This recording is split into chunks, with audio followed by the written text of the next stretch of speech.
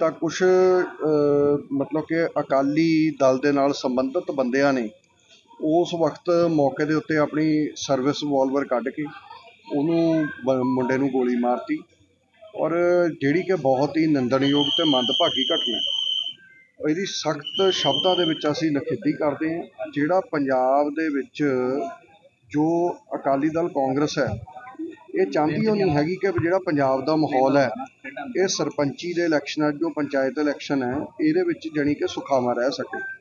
ਸਾਨੂੰ ਬਹੁਤ ਦੇਰ ਤੋਂ ਇਸ ਤਰ੍ਹਾਂ ਦੀਆਂ ਸ਼ਿਕਾਇਤਾਂ ਮਿਲ ਰਹੀਆਂ ਸੀ ਕਿ ਇਹ ਪਾਰਟੀਆਂ ਪੰਜਾਬ ਦਾ ਮਾਹੌਲ ਖਰਾਬ ਕਰਨਾ ਚਾਹੁੰਦੀ ਇਹ ਨਹੀਂ ਚਾਹੁੰਦੀਆਂ ਕਿ ਸ਼ਾਂਤਮੂਰਵਕ ਤਰੀਕੇ ਦੇ ਨਾਲ ਪੂਰੇ ਪੰਚਾਇਤੀ ਰਾਜ ਦਾ ਇਲੈਕਸ਼ਨ ਹੋ ਸਕੇ। ਦੂਜੀ ਗੱਲ, ਇਹ ਜਿਹੜੇ ਕੋਈ ਬੰਦੇ ਆਮ ਆਦਮੀ ਪਾਰਟੀ ਦੀ ਸਪੋਰਟ ਕਰਦੇ ਨੇ, ਕਿਉਂਕਿ ਉਹ ਆਮ ਲੋਕ ਨੇ ਜ਼ਿਆਦਾਤਰ, ਤਾਂ ਉਹਨਾਂ ਨੂੰ ਡਰਾਉਣਾ, ਧਮਕਾਉਣਾ, ਉਹਨਾਂ ਨੂੰ ਥ੍ਰੈਟ ਦੇਣੇ ਇਹਨਾਂ ਦੀ ਆਮ ਜਿਹੀ ਗੱਲ ਸੀ। ਤੁਸੀਂ ਦੇਖਿਆ ਹੋਣਾ, ਪਿਛਲੇ ਬੀਤੀ ਹੁਣ ਤੋਂ ਤਕਰੀਬਨ ਤਕਰੀਬਨ 25 ਕੁ ਦਿਨ ਪਹਿਲਾਂ, ਵੀਹ ਪੱਚੀ ਦਿਨ ਪਹਿਲਾਂ ਖੰਨੇ ਤੋਂ ਇੱਕ ਕੇਸ ਹੋਇਆ ਸੀ, ਜਿੱਥੋਂ ਇੱਕ ਬੰਦਾ ਆਪਣੇ ਸਰਪੰਚੀ ਦੇ ਦਾਅਵੇਦਾਰੀ ਜਿਹਨੇ ਹਲੇ ਕਰਨੀ ਸੀ। ਉਹ ਤਾਂ ਨਾਂ ਤਰਲੋਚਨ ਸਿੰਘ ਡੀਸੀ ਸੀ। ਉਹਨੂੰ ਵੀ ਅਕਾਲੀ ਦਲ ਦੇ ਇੱਕ ਕਥਿਤ ਵਰਕਰ ਨੇ ਸ਼ਰੇਆਮ ਜਾਣੀ ਕਿ ਗੋਲੀ ਮਾਰੀ ਅਤੇ ਉੱਥੇ ਉਹਦਾ ਮਰਡਰ ਕੀਤਾ। ਹੁਣ ਫਿਰ ਇੱਕ ਅਕਾਲੀ ਦਲ ਦੇ ਬੰਦੇ ਨੇ ਮਤਲਬ ਕਿ ਇਸ ਮਨਦੀਪ ਬਰਾੜ ਨੂੰ ਗੋਲੀ ਮਾਰੀ ਔਰ ਇਹ ਸਾਡੇ ਜੋ ਸਾਡੇ ਜੋ ਏ ਸਾਹਿਬ ਨੇ, ਉੱਥੋਂ ਗੋਲਡੀ ਕੰਬੋਜ ਜੀ, ਉਹ ਮੇਰੇ ਨਾਲ ਨੇ ਇਸ ਸਮੇਂ ਖੜ੍ਹੇ ਉਹਨਾਂ ਨੇ ਜੋ ਇਨਫੋਰਮੇਸ਼ਨ ਦਿੱਤੀ ਹੈ ਕਿ ਜਿਹੜਾ ਇਹ ਜਿਸ ਬੰਦੇ ਨੇ ਆਪਣੀ ਸਰਵਿਸ ਰਿਵਾਲਵਰ ਨਾਲ ਗੋਲੀ ਮਾਰੀ ਹੈ ਇਹਨਾਂ ਦੇ ਅਹ, ਉਹਦਾ ਨਾਮ ਜਾਣੀ ਕਿ ਲੋਨੀ ਮਾਨ ਵਜੋਂ ਇਹਨਾਂ ਨੇ ਦੱਸਿਆ ਤੇ ਇਹ ਖੁਦ ਜਾਣੀ ਕਿ ਆਲਰੇਡੀ ਆਪ ਇਲੈਕਸ਼ਨ ਲੜ ਚੁੱਕੇ ਨੇ। ਸੋ ਇਹ ਬੜੀ ਮੰਦਭਾਗੀ ਘਟਨਾ ਹੈ ਜਿਹੜੀ ਕਿ ਬੜੀ ਇਹ ਇੱਕ ਤਰ੍ਹਾਂ ਨਾਲ ਜਾਣੀ ਕਿ ਡੈਮੋਕ੍ਰੇਸੀ ਦੇ ਉੱਤੇ ਕਾਲਾ ਧੱਬਾ ਹੈ ਇਹ ਬਲੈਕ ਸਪੌਟ ਹੈ। ਇਮੀਡੀਏਟਲੀ ਸੰਗਿਆਨ ਲੈਂਦੇ ਹੋਏ ਇਸ ਚੀਜ਼ ਦਾ ਮੈਨੂੰ ਇਮੀਡੀਏਟਲੀ ਕਾਲ ਕੀਤੀ ਕਿ ਤੁਸੀਂ ਮਿਨਿਸਟਰ ਸਾਹਿਬ ਉੱਥੇ ਇਮੀਡੀਏਟਲੀ ਪਹੁੰਚੋ। ਮੈਂ ਆਇਆ ਉਰੇ ਤੇ ਆਉਣ ਤੋਂ ਬਾਅਦ ਮੈਂ ਜਿਹੜਾ ਮਨਦੀਪ ਬਰਾੜ ਹੈ, ਉਹਦੇ ਮਦਰ ਨੂੰ ਮਿਲੇ। ਉਹਦੀ ਸੁਪਤਨੀ, ਉਹਨਾਂ ਦੀ ਵਾਈਫ ਭੈਣ ਜੀ, ਉਹਨਾਂ ਨੂੰ ਮਿਲੇ ਆ ਮੈਂ। ਤੇ ਉਹਨਾਂ ਨੂੰ ਅਸ਼ਵਾਸਨ ਦਿੱਤਾ, ਹੌਸਲਾ ਦਿੱਤਾ ਵੀ ਤੁਸੀਂ ਵਰੀ ਨਹੀਂ ਕਰਨੀ, ਚਿੰਤਾ ਨਹੀਂ ਕਰਨੀ। ਅਸੀਂ ਹਰ ਪੱਖ ਤੋਂ ਇਸ ਦੁੱਖ ਦੀ ਘੜੀ ਦੇ ਵਿੱਚ ਤੁਹਾਡੇ ਨਾਲ ਬਰਾਬਰ ਖੜੇ ਹਾਂ। ਦੇਖੋ ਜਿਹੜੀ ਬੁਲਟ ਹੈ ਜੋ ਮੈਨੂੰ ਪਤਾ ਲੱਗਿਆ ਕਿ ਉਹ ਗੋਲੀ ਹਾਰਟ ਦੇ ਬਿਲਕੁਲ ਥੱਲੜੇ ਪਾਸੇ ਦੇ ਵਿੱਚ ਟੱਚ ਕੀਤੀ ਹੈ। ਤੇ ਉਹ ਬਾਡੀ 'ਚ ਫਿਰ ਟਰੈਵਲ ਕਰਕੇ ਗੋਲੀ ਹੈ ਜਿਹੜੀ, ਉਹ ਥੱਲੜੇ ਪਾਸੇ ਨੂੰ ਗਈ ਹੈ। ਤੇ ਡਾਕਟਰਸ ਨੇ ਆਪਰੇਸ਼ਨ ਥੀਏਟਰ 'ਚ ਮਨਦੀਪ ਬਰਾੜ ਨੂੰ ਲੈ ਕੇ ਗਏ ਨੇ। ਉੱਥੇ ਸਰਜਰੀ ਹੋਊਗੀ। ਸਰਜਰੀ ਹੋਣ ਤੋਂ ਬਾਅਦ ਪਤਾ ਲੱਗ ਪਾਊਗਾ ਵੀ ਉਹਨਾਂ ਦੀ ਕੰਡੀਸ਼ਨ ਹੈ ਜਿਹੜੀ। ਕਿਸ ਤਰ੍ਹਾਂ ਦੀ ਹੈ? ਸਰ ਮਸਲਾ ਜਿਹੜਾ ਲੈ ਕੇ ਚੱਲ ਰਹੇ ਨੇ ਪੰਚਾਇਤੀ ਤਾਂ ਵੋਟਾਂ ਵੀ ਪੈਣੀਆਂ ਤਾਂ ਲੱਗਦਾ ਨਹੀਂ ਕਿ ਵੋਟ ਤੋਂ ਪਹਿਲੇ ਸਟਾਰਟਿੰਗ ਹੋਵੇ ਕੀ ਲੱਗਦਾ ਅਸਲੇ ਜਮਾ ਹੋਣੇ ਚਾਹੀਦੇ? ਬਿਲਕੁਲ ਦੇਖੋ ਗੱਲ ਇਦਾਂ ਹੈ ਦੇਖੋ, ਇਹ ਇੱਕ ਬੜੀ ਮੰਦਭਾਗੀ ਘਟਨਾ ਮੈਂ ਪਹਿਲਾਂ ਵੀ ਕਿਹਾ, ਪੰਜਾਬ ਦਾ ਮਾਹੌਲ ਹੈ ਜਿਹੜਾ, ਉਹਨੂੰ ਪੀਸਫੁਲ ਰੱਖਣਾ ਚਾਹੀਦਾ। ਅਸੀਂ ਕਿੰਨੀ ਵਾਰ ਅਪੀਲ ਕਰ ਚੁੱਕੇ ਹਾਂ, ਕਿੰਨੀ ਵਾਰ ਬੇਨਤੀਆਂ ਕਰ ਚੁੱਕੇ ਹਾਂ ਵੀ ਦੇਖੋ, ਇਹ ਜਿਹੜੀ ਇਲੈਕਸ਼ਨ ਹੁੰਦੀ ਹੈ, ਕੋਈ ਇਹੀ ਜੀ ਇਹਨੂੰ ਤੁਸੀਂ ਈਗੋ ਦਾ ਆਪਣੀ ਦਾ ਸਵਾਲ ਨਾ ਬਣਾਓ। ਇਹ ਇਲੈਕਸ਼ਨ ਹੈ ਜਿਹੜੀ ਪੀਸਫੁਲ ਤਰੀਕੇ ਨਾਲ ਕਰੋ। ਡੈਮੋਕ੍ਰੈਟਿਕ ਰਾਈਟ ਆ, ਹਰੇਕ ਦਾ, ਵੱਡੇ ਦਾ, ਛੋਟੇ ਦਾ, ਹਰੇਕ ਦਾ ਰਾਈਟ ਹੈ ਇਹ ਇਲੈਕਸ਼ਨ ਲੜਨਾ।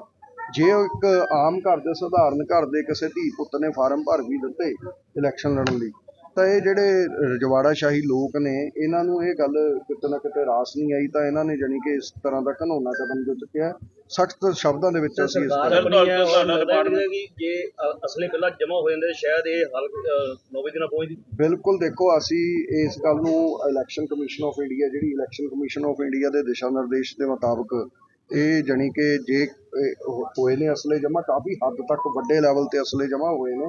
ਪੰਜਾਬ ਸਰਕਾਰ ਨੇ ਵੀ ਕਿਹਾ ਸੀ ਅਸਲੇ ਜਮ੍ਹਾਂ ਕਰਾਉਣ ਨੂੰ। ਹਾਂ ਜਿੱਥੇ ਕਿਤੇ ਆਹੀ ਜੇ ਜਿਹੜੇ ਬੰਦੇ ਜਿਨ੍ਹਾਂ ਨੇ ਨਹੀਂ ਜਮ੍ਹਾਂ ਕਰਾਏ ਜਿੱਥੇ ਇਹਨਾਂ ਨੇ ਐਡੀ ਵੱਡੀ ਕਤਾਹੀ ਕੀਤੀ ਹੈ ਗਲਤੀ ਕੀਤੀ ਹੈ ਉਹਨਾਂ ਤੇ ਬਣਦੀ ਸਖਤ ਤੋਂ ਸਖਤ ਜਾਣੀ ਕਿ ਕਾਨੂੰਨੀ ਸਰ ਕਾਰਵਾਈ ਸਾਨੂੰ ਲੱਗਦਾ ਕਿ ਵੋਟਾਂ ਵੀ ਪੈਣੀਆਂ ਨੇ ਉਸ ਤੋਂ ਬਾਅਦ ਸਖਤੀ ਹੁਣ ਕੀਤੀ ਜਾਵੇਗੀ ਹੋਰ ਵਧਾਈ ਜਾਵੇਗੀ ਤਾਂ ਜੋ ਅਜਿਹੀ ਘਟਨਾਵਾਂ ਮੰਦ ਬਿਲਕੁਲ ਦੇਖੋ ਜਿਹੜਾ ਪ੍ਰਸ਼ਾਸਨ ਹੈ ਆਪਣੇ ਔਨ ਟੋਜ਼ ਹੈ ਬਿਲਕੁਲ ਪ੍ਰਸ਼ਾਸਨ ਹੈ ਜਿਹੜਾ ਮੁਸਤੈਦੀ ਨਾਲ ਲੱਗਿਆ ਹੋਇਆ ਹੈ। ਪਰ ਜਾਣੀ ਕਿ ਜ- ਪ੍ਰਸ਼ਾਸਨ ਵੀ ਇੱਕ ਹੱਦ ਤੱਕ ਜਾਣੀ ਕਿ ਕਿਸੇ ਦੀ ਇੰਟੈਂਸ਼ਨ ਨੂੰ ਜੱਜ ਕਰ ਸਕਦਾ ਹੈ। ਜੇ ਕਿਸੇ ਦੀ ਇੰਟੈਂਸ਼ਨ ਹੀ ਮਾੜੀ ਹੈ ਕਿਸੇ ਦੀ ਸੋਚ ਹੀ ਇਹੀ ਜੀ ਹੈ ਕਿ ਉਹ ਬੀਡੀਪੀਓ ਦਫ਼ਤਰ ਦੇ ਅੰਦਰ ਜਾਣੀ ਕਿ ਆਪਣੀ ਸਰਵਿਸ ਰਿਵਾਲਵਰ ਨਾਲ ਐਡਾ ਘਨਾਉਣਾ ਕੰਮ ਕਰਦਾ ਹੈ, ਇਹ ਬਹੁਤ ਹੀ ਨਿੰਦਣਯੋਗ ਘਟਨਾ। ਸਰ ਕਿਤੇ ਨਾ ਕਿਤੇ ਜਿਹੜਾ ਸਰਕਾਰੀ ਡਿਪਾਰਟਮੈਂਟ ਦੇ ਵਿੱਚ ਜੇਕਰ ਲੈ ਕੇ ਜਾਂਦਾ ਕੋਈ ਤਾਂ ਲੱਗਦਾ ਕਿ ਜਾਂਚ ਨਹੀਂ ਹੋਈ ਤੇ ਸ਼ੁਰੂਆਤ ਜਿਹੜਾ ਲੈ ਕੇ ਚੱਲਾ ਗਿਆ। ਕਿੱਦਾਂ ਲੈ ਕੇ ਚਲੇ ਗਏ ਜੀ? ਹਥਿਆਰ ਦੇ ਦੇਖੋ ਆਮ ਤੌਰ ਤੇ ਜਿਹੜੇ ਸਰਕਾਰੀ ਦਫ਼ਤਰ ਹੁੰਦੇ ਨੇ ਆਮ ਤੌਰ ਤੇ ਸਰਕਾਰੀ ਦਫ਼ਤਰ ਜਿਹੜੇ ਹੁੰਦੇ ਨੇ ਉਹਨਾਂ ਦੇ ਵਿੱਚ ਕੋਈ ਖਾਸ ਜਾਣੀ ਕਿ ਚੈੱਕ ਨਹੀਂ ਕੀਤੀ ਕਿਉਂਕਿ ਪਬਲਿਕ ਦੇ ਦਫ਼ਤਰ ਹੁੰਦੇ ਨੇ। ਪਬਲਿਕ ਦੇ ਦਫ਼ਤਰ ਨੇ ਪਬਲਿਕ ਦੇ ਦਫ਼ਤਰਾਂ ਦੇ ਵਿੱਚ ਆਮ ਪਬਲਿਕ ਆਉਂਦੀ ਜਾਂਦੀ ਰਹਿੰਦੀ ਹੈ। ਸੋ ਇਸ ਕਰਕੇ ਇਹ ਜਿਹੜੀ ਦੇ ਸਰ ਉੱਥੇ ਡਾਕੂਮੈਂਟ ਚੈੱਕ ਹੋ ਰਹੇ ਨੇ ਪੀਡੀਓ ਅਧਿਕਾਰੀ ਵੀ ਬੈਠੇ ਨੇ ਕਿਉਂਕਿ ਕੱਲ ਵੀ ਕਈ ਵਾਰਦਾਤਾਂ ਜਿਹੜੀਆਂ ਸਾਹਮਣੇ ਆਈਆਂ ਨੇ। ਦੇਖੋ ਸ਼ਰਾਰਤੀ ਬੰਦਾ ਕੁਝ ਜਿਹੜਾ ਸ਼ਰਾਰਤੀ ਹੈ ਜਿਹਨੇ ਸ਼ਰਾਰਤ ਕਰਨੀ ਹੈ ਜਿਹਨੇ ਉਹ ਕਿਸੇ ਵੀ ਹੱਦ ਤੱਕ ਜਾ ਸਕਦਾ। ਸੋ ਇਸ ਕਰਕੇ ਮੈਂ ਤਾਂ ਪਹਿਲਾਂ ਕਿਹਾ ਵੀ ਇਹ ਨਿੰਦਣਯੋਗ ਹੈ। ਸੀਐਮ ਸਾਹਿਬ ਇਹਦੇ ਵਿੱਚ ਸੰਗਾਨ ਲੈਣਗੇ ਬਿਲਕੁਲ ਉਹਨਾਂ ਨੇ ਲੈ ਲਿਆ ਜੀ ਆਲਰੇਡੀ ਸੰਗਿਆਨ ਲੈ ਲਿਆ। ਸੀਐਮ ਸਾਹਿਬ ਦੇ ਸੰਗਿਆਨ ਲੱਤੇ ਤੋਂ ਉਹਨਾਂ ਨੇ ਇਮੀਡੀਏਟਲੀ ਮੈਨੂੰ ਇਸ ਗੱਲ ਦੀ ਡਿਊਟੀ ਲਗਾਈ ਸੀ ਸੋ ਮੈਂ ਉਰੇ ਪਹੁੰਚਿਆ। ਅੱਛਾ ਸਰ ਲੋਕਾਂ ਨੂੰ ਕੀ ਅਪੀਲ ਆ ਜੀ ਸਰ ਦੇਖੋ ਇਹ ਮੌਕਾ ਅਪੀਲ ਦਾ ਨਹੀਂ ਇਹ ਮੈਂ ਦੇਖੋ ਧੰਨਵਾਦ ਗੋਲੀ ਵੱਜੀ ਹੈ ਕਿਸ ਤਰ੍ਹਾਂ ਜਿਹੜਾ ਵਾਕਿਆ ਹੋਇਆ ਕੀ ਗੱਲ ਬਿਲਕੁਲ ਮੇਰਾ ਛੋਟਾ ਭਾਈ ਹੈ ਔਰ ਕਈ ਸਾਲਾਂ ਤੋਂ ਮੇਰੇ ਨਾਲ ਹੈ ਔਰ ਚੰਗ ਬਹੁਤ ਚੰਗਾ ਪਾਰਟੀ ਦਾ ਵਰਕਰ ਵੀ ਹੈ ਔਰ ਸਭ ਤੋਂ ਵੱਡੀ ਗੱਲ ਇਹ ਹੈ ਵੀ ਆਮ ਬੰਦਾ ਜੇ ਇਲੈਕਸ਼ਨ ਨਹੀਂ ਲੜ ਸਕਦਾ ਤਾਂ ਕੌਣ ਲੜੂ ਜਿਹੜੇ ਜਿਹਦੇ ਬਾਪ ਐਮਪੀ ਰਹੇ ਹੋਣ ਜਿਹੜਾ ਤਿੰਨ ਤਿੰਨ ਵਾਰੀ ਹਲਕਾ ਇੰਚਾਰਜ ਲਿਆ ਹੋਵੇ ਦੂਜਾ ਭਰਾ ਐਮਪੀ ਦਾ ਇਲੈਕਸ਼ਨ ਲੜਿਆ ਹੋਵੇ ਔਰ ਇਹੋ ਜਿਹੇ ਕੰਮ ਕਰਦਾ ਆ ਕੇ ਸਰਪੰਚੀ ਦੇ ਇਲੈਕਸ਼ਨ ਪਿੱਛੇ ਬਹੁਤ ਮੰਦਭਾਗੀ ਘਟਨਾ ਹੈ ਸੋ ਛੋਟੀ ਸੋਚ ਦੇ ਮਾਲਕ ਹੈ। ਬਾਕੀ ਪ੍ਰਮਾਤਮਾ ਅੱਗੇ ਅਰਦਾਸ ਕਰਦੇ ਵੀ ਸਾਡਾ ਭਰਾ ਜਲਦੀ ਠੀਕ ਹੋਵੇ ਔਰ ਜਿਹੜੀ ਉਹਦੀ ਪ੍ਰੋਪਰ ਬਣਦੀ ਕਰ ਰਹੀ 100% ਕਰੋ। ਸਰ ਮਾਮਲਾ ਕੀ ਸੀ? ਗੱਲਬਾਤ ਕੀ ਸੀ? ਕਿਉਂਕਿ ਤੁਹਾਡੇ ਮਾਮਲਾ- ਹਲਕੇ ਦਾ ਮਾਮਲਾ ਤੁਹਾਡੇ। ਉਹਨਾਂ ਨੇ ਕੋਈ ਪੰਚਾਇਤੀ ਜ਼ਮੀਨ ਤੇ ਕਬਜ਼ਾ ਕਰ ਰੱਖਿਆ। ਤਾਂ ਪੰਚਾਇਤੀ ਜ਼ਮੀਨ ਤੇ ਕਬਜ਼ਾ ਪੰਚਾਇਤ 'ਚ ਓਬਜੈਕਸ਼ਨ ਲੱਗ ਜਾਂਦੀ ਹੈ ਜਿਹਦਾ ਪੰਚਾਇਤੀ ਜ਼ਮੀਨ 'ਚ ਕਬਜ਼ਾ ਹੋਵੇ। ਉਹਨਾਂ ਦਾ ਕੋਈ ਇੱਕ ਪੁਰਾਣਾ ਹਾਈ ਕੋਰਟ 'ਚ ਕੇਸ ਪੈਂਡਿੰਗ ਉਹਦੇ 'ਚ ਉਹਨਾਂ ਨੇ ਆਪ ਪੂਰੀ ਫੈਮਿਲੀ ਨੇ ਐਫੀਡੇਵਿਟ ਦੇ ਰੱਖੀ। ਔਰ ਜਿਹੜਾ ਮੁੰਡਾ ਸਾਡਾ ਉਹਦੇ ਬਰਾਬਰ ਗੁਰਪ੍ਰੀਤ ਇਲੈਕਸ਼ਨ ਲੜ ਰਿਹਾ ਸੀ ਉਹਨੇ ਓਬਜੈਕਸ਼ਨ ਕਰੀ ਸੀ। ਤਾਂ ਬਾਹਰ ਆ ਕੇ ਦੋਨੋਂ ਬੋਲਣ ਲੱਗੇ ਵੀ ਤੂੰ ਕੌਣ ਨਾ ਮੇਰੇ ਪੇਪਰ ਵਾਪਸ ਕਰਾਉਣ ਵਾਲਾ ਇਹ ਕਿ ਜਦੋਂ ਆਪਾਂ ਬੋਲਦੇ ਆ ਤਾਂ ਉਹਨੇ ਪਹਿਲੀ ਗੋਲੀ ਮਾਰੀ ਉਹਦੇ ਕ੍ਰਾਸ ਕਰ ਗਈ। ਔਰ ਦੂਜੀ ਗੋਲੀ ਮਾਰੀ ਉਹ ਮਨਦੀਪ ਤੇ ਲੱਗ ਗਈ। ਸੋ ਇਹ ਤਾਂ ਵਿਚਾਰਾ ਕੋਈ ਲੈਣ ਨਹੀਂ ਕੋਈ ਦੇਣ ਨਹੀਂ ਸੀ। ਸੋ ਇਹ ਇਸ ਤਰ੍ਹਾਂ ਇਹ ਝਗੜਾ। ਸਰ ਲਗਾਤਾਰ ਮਾਮਲੇ ਸਾਹਮਣੇ ਆਏ ਨੇ। ਕਈ ਜਗ੍ਹਾ ਦੇ ਉੱਤੇ ਗੋਲੀਆਂ ਚੱਲੀਆਂ। ਕਿਸ ਤਰ੍ਹਾਂ ਦੇ ਦਿਓ ਵੀ ਇਦਾਂ ਸ਼ੁਰੂਆਤ ਹੋਈ ਹੈ? ਕਿਉਂਕਿ ਅਜੇ ਤਾਂ ਨਾਮਜ਼ਦਗੀਆਂ ਭਰੀਆਂ ਗਈਆਂ ਨੇ। ਸਿਰਫ ਕਿਉਂਕਿ ਵੀ ਲੱਗਦਾ ਨਹੀਂ ਕਿ ਅਸਲੇ ਜਿਹੜੇ ਜਮ੍ਹਾਂ ਹੋਣੇ ਚਾਹੀਦੇ ਸੀ ਨਹੀਂ ਬਿਲਕੁਲ ਅਸਲੇ ਵੀ ਜਮ੍ਹਾਂ ਹੋਣੇ ਚਾਹੀਦੇ।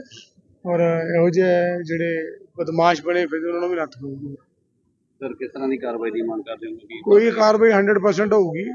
ਕਾਰਵਾਈ ਦੀ ਕੋਈ ਢਿੱਲ ਨਹੀਂ ਬਟ ਉਹ ਬਿਲਕੁਲ ਉਹਦੇ ਬਿਆਨ ਲਿਖੀ ਗਏ। ਮੰਤਰੀ ਸਾਹਿਬ ਆਏ ਸੀ ਨਹੀਂ ਮੈਂ ਆਪਦੀ ਸਰਕਾਰ ਦਾ ਔਰ ਮੰਤਰੀ ਸਾਹਿਬ ਦਾ ਬਹੁਤ ਧੰਨਵਾਦੀ ਹਾਂ ਜਿਨ੍ਹਾਂ ਨੇ ਪਰਿਵਾਰ ਨਾਲ ਦੁੱਖ ਸਾਂਝਾ ਕੀਤਾ। ਔਰ ਇਹੋ ਜਿਹੇ ਸਮੇਂ 'ਚ ਜੇ ਅਸੀਂ ਇੱਕ ਦੂਜੇ ਦੇ ਨਾਲ ਖੜ ਸਕਦੇ ਹਾਂ ਇਹੀ ਸਰਕਾਰ ਤੋਂ ਲੋਕ ਉਮੀਦ ਕਰਦੇ ਹਾਲਾਤ ਠੀਕ ਹੈ ਹੁਣ ਆਪਰੇਟ ਸਟਾਰਟ ਹੋ ਗਿਆ। ਬਾਕੀ ਤਾਂ ਉਸ ਤੋਂ ਬਾਅਦ ਹੀ ਦੱਸੇ ਦੇ ਪ੍ਰੋਪਰ ਦੇਖੀਏ। Thank you.